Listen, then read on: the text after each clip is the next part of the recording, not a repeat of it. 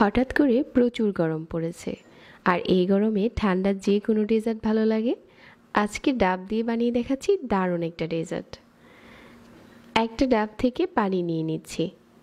তারপর হচ্ছে এই পানিটাকে মেজারমেন্ট কাপ দিয়ে মেপে নিচ্ছি যে এখানে কতটুকু পানি আছে।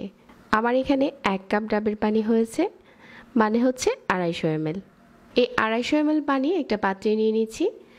তারপর এখানে দিয়ে দিচ্ছি ওয়ান ফুট কাপ চিনি আর দেড় চা চামচ আগার আগার পাউডার এই আগার আগার পাউডারটা আপনারা সুপার শপে কিনতে পাবেন। তবে এর পরিবর্তে এখানে চায়না গ্রাসও দিতে পারেন।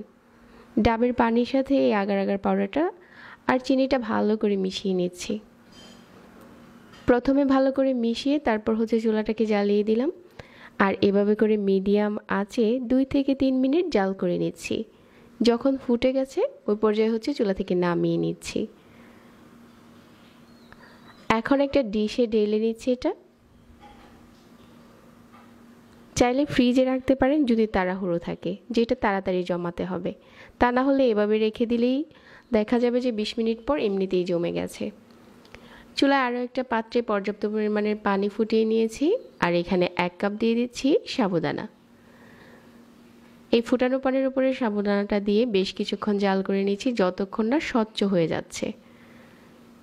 সাবুদানাটা সিদ্ধ হয়ে গেছে, একটা স্টেনারে ঢেলে পানি ঝরিয়ে নিচ্ছি। এখন আরও একটা পাত্রে নিয়ে নিচ্ছি, এক লিটার লিকুইড মিল্ক এই মিল্কটাকে ঘন করার জন্য ওয়ান ফুড কাপ নিয়ে নিচ্ছি পাউডার মিল্ক আর ওয়ান ফুড কাপ চিনি। সব কিছু নেড়ে চেড়ে একসাথে করে মিশিয়ে বেশ কিছুক্ষণ জাল করে নিচ্ছি। আর যে সাবুদানাটা সিদ্ধ করে রেখেছিলাম, ওইটা এখন এই দুধের উপরে দিয়ে দিচ্ছি। দিয়ে আবারও একটু নেড়ে চেড়ে মিশিয়ে নিচ্ছি। এই দুটো যতটা ঘন করবেন ডেজার্টটা খেতে তত ভালো লাগবে। এখন এটা নর্মাল ফ্রিজে রেখে ঠান্ডা করে নিচ্ছি। আমার এখানে ডেজার্টটা রেডি করার জন্য ডাবের যে পোডিংটা জমিয়েছিলাম, এটা এখন কিউব করে কেটে নিচ্ছি। কিউব করে সবগুলো যখন কাটা হয়ে গেছে, আর আমাদের যে সাবুদানার মিশ্রণটা বানিয়েছিলাম, ওইটাও আমি নর্মাল ফ্রিজে রেখে ঠান্ডা করে নিয়েছি। এখন ডেজার্ট বানানোর জন্য সবগুলো উপকরণই রেডি হয়ে গেছে। ডাবের এই জেলগুলো খেতে দারুণ মজার হয়। সাবুদানার মিশ্রণটা ফ্রিজ থেকে বের করে নিয়ে এটার উপরে ডাবের পুডিংগুলো দিয়ে দিচ্ছি।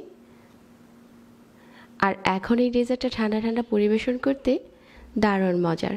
ইফতারিতে এরকম একটা ডেজার্ট হলে আপনার কিছুই লাগবে না। এনার্জি দিবে, সারাদিনের রোজার ক্লান্তি একদম দূর করে দেবে। আশা করছি আজকের সহজ রেসিপি সবার ভালো লাগবে। এরকম আরও সহজ রেসিপি পেতে পেজ ফলো করে রাখবেন। যারা এতক্ষণ সাথে ছিলেন, সবাইকে ধন্যবাদ জানাচ্ছি। আর সেই সাথে এখানেই বিদায় নিচ্ছি। আল্লাহ হাফেজ।